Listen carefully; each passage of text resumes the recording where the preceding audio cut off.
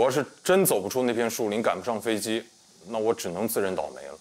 可我当时我想的是，只是给阿蒙打个电话，跟他说我可能赶不上试镜了，但只要他把这个角色给我留住，我绝对能演好，绝对会让斯特里伯对我另眼相看的。可惜这山里边到处都没有信号，所以我你就是现在给他打个电话，他也不会搭理你。不可能，没有我哪有他的今天？你看看是这个阿蒙吗？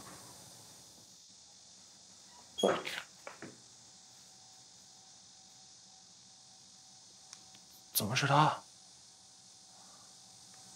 我给你念念啊。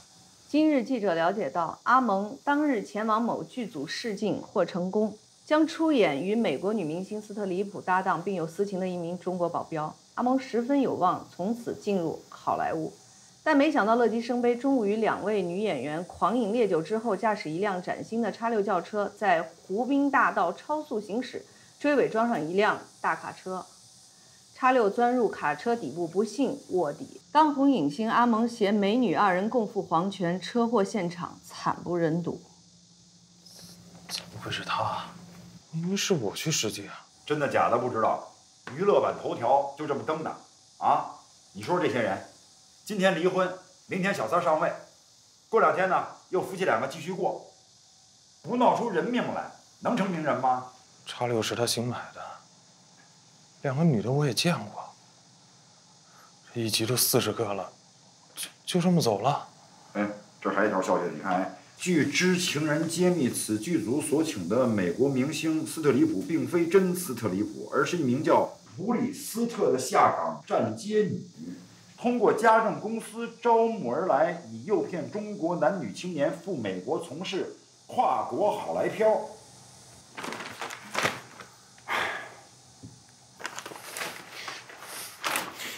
原来是这样，我说是死的离谱吧，你还不相信？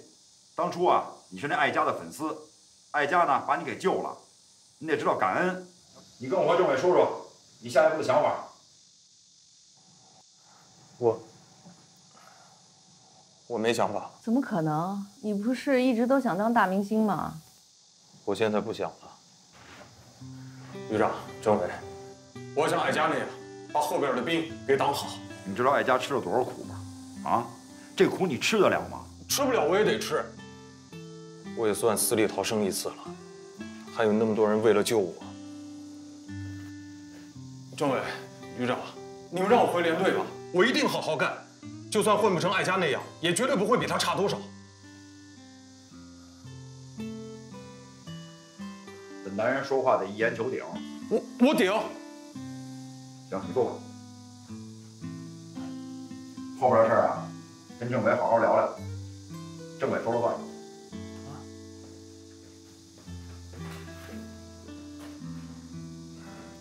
政委，我……你既然已经有了态度，我也得跟你说明白了。你这次犯的错误非常严重，已经触犯了法律。要是在战场上，我和旅长有权利枪毙你。啊！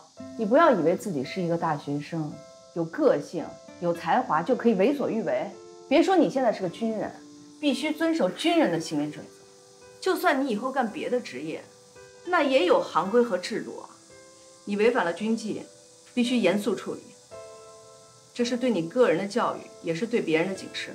政委，我接受。鉴于你是初犯，法律责任暂不追究，行政上记大过。回去以后。写检查，在全旅的军人大会上公开检讨。啊，公公开啊？为什么不能公开啊？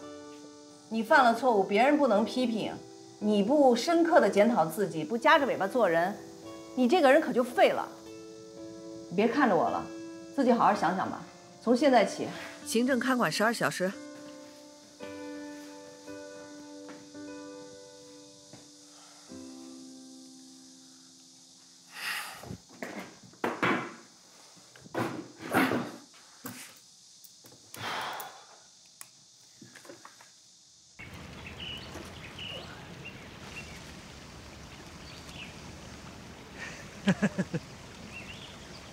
参谋长，又是一条啊！我这一条新闻还没看完呢，你就钓上三条了。真是钓王啊，超级钓王啊！这哪像在海里钓啊？啊，这是买来放鱼塘里养，又不喂食，专等人来钓。早饿极了，就差吃人了。什么钓王不钓王的？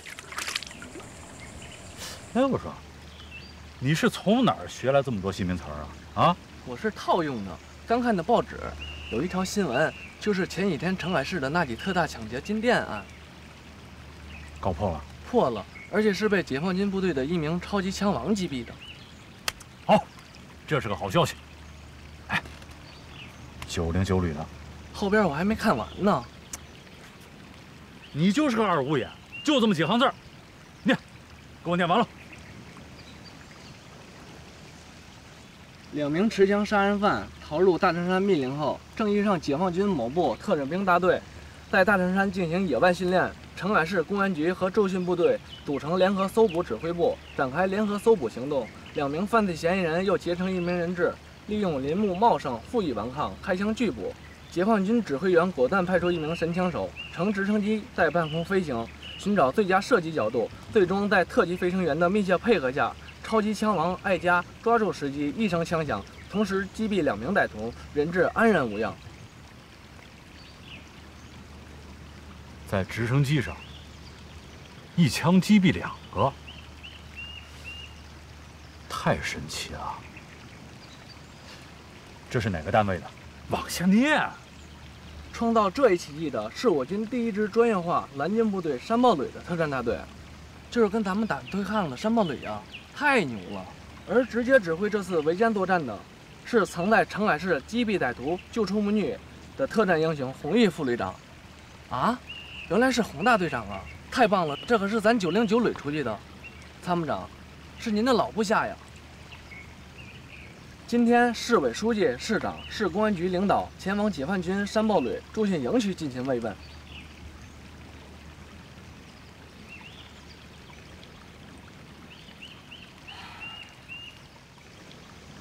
把杆收了，回去。啊，首长，还有两段没念完呢。